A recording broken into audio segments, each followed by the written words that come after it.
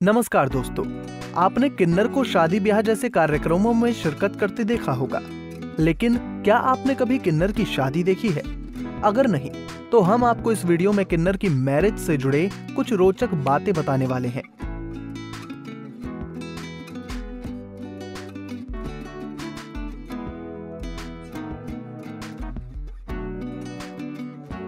सबसे पहले तो बता दें कि किन्नर की शादी सिर्फ़ एक रात के लिए होती है। न कि सात जन्मों के लिए। और इनका सामाजिक विवाह समारोह भी होता है।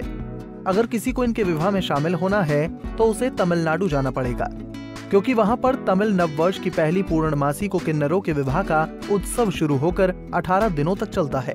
सत्रहवें दिन, ये अपने भगवान इरावन के साथ ब्याह रचाते हैं। विवाह में दुल्हन 16 प्रकार की श्रृंगार करती है, और एक किन्नर सहयोगी दुल्हन बनी किन्नर की सिंदूर से मांग भी भरता है। और अगले दिन सारा श्रृंगार उतार कर विधवा की तरह शोक मनाते हैं। बाकी की जानकारी देने से पहले ये बता देते हैं कि भगवान इरावन कौन है और इनसे ही किन्नर का विवाह क्यों होता है। बता दें कि भगवान अर्जुन और नाग कन्या उलूपी की संतान है। भगवान इरावन जिन्हें अरावन के नाम से भी जाना जाता है। पौराणिक मान्यता के अनुसार भगवान कृष्ण ने स्त्री का रूप धारण कर नाग राजकुमार इरावन से शादी की थी। विल्लुपुरम ज़िले के इस गाँव में इरावन की पूजा कुंथादवार के रूप में होती है। हज़ारों किन्नर इरावन के दुल्हन के रूप में शादी समारोह में शिरकत करती हैं और मंदिर के पुजारी से उनकी गर्दन में कलावा बंधवाती हैं। और फिर विवाह के बाद जश्न मनाया जाता है और उसके बाद इनके भगवान इरावन को पूरे शहर में घुमाते हैं। फिर भगवान की मूर्ति को तोड़ दिया जाता है। इसके साथ ही किन्नर अपना श्रृंगार उतार कर एक विधवा की तरह विलाप करने लगती है। जानकारी के लिए बता दें कि किन्नर के विवाह की ये परंपरा महाभारत से शुरू हुई थी।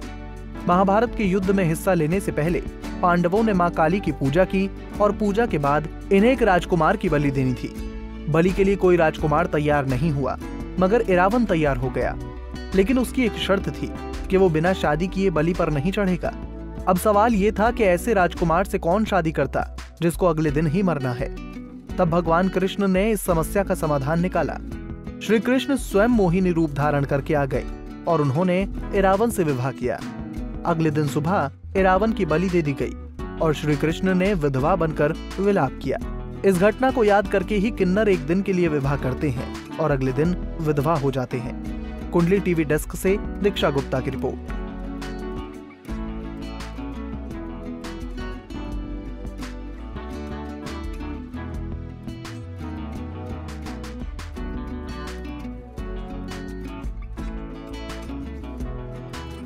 की और भी जानकारी लेने के लिए हमारे चैनल को सब्सक्राइब करें और नई वीडियो की नोटिफिकेशन के लिए बेल आइकॉन दबाएँ। अगर आप ये वीडियो फेसबुक पर देख रहे हैं तो वीडियो को लाइक और शेयर करें साथ ही अपनी राय कमेंट बॉक्स में ज़रूर बताएँ। धन्यवाद